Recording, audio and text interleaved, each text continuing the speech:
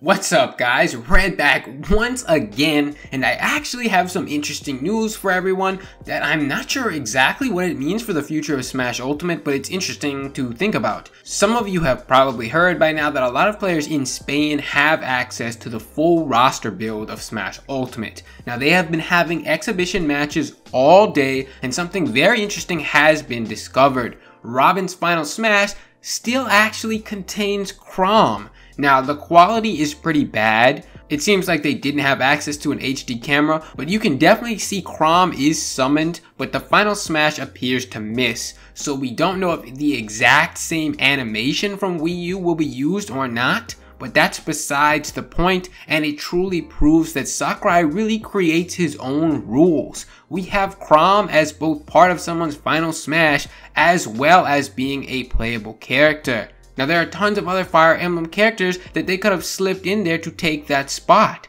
So this could be potential huge news for new character hopefuls. Does this mean that Sakurai is willing to have someone be an assist trophy as well as being playable in the same game?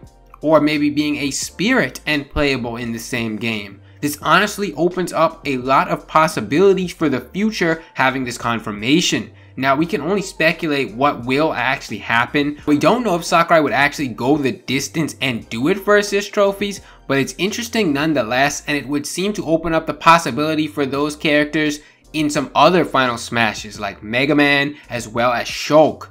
Would Sakurai reach into his bag of tricks and bring one of those characters into the fold? I think it's too hard to say for sure. It's also interesting in the aspect that the team went out of their way to redesign a lot of the final smashes for other characters, yet they've blatantly left Chrom in knowing that he was going to be a playable character. So it definitely can't be an oversight. This would seem to have been planned. Now, does this open up the possibility of an assist trophy to DLC pack in the future? Who knows? That's probably a bit optimistic, but at the very least, this may be able to provide a small ray of hope or comfort for those who have gotten their characters in other forms in the game. It goes to show that we don't know what Sakurai will do next. But that's all for this video guys. It's short and to the point. Let me know your thoughts on this in the comments below. Could this open the door for assist trophies to be upgraded later on? Or is it mostly just meaningless? Don't forget to check out some of my previous videos if you have time and subscribe with notifications on for more future content. Thanks for watching. I'll see you guys next time.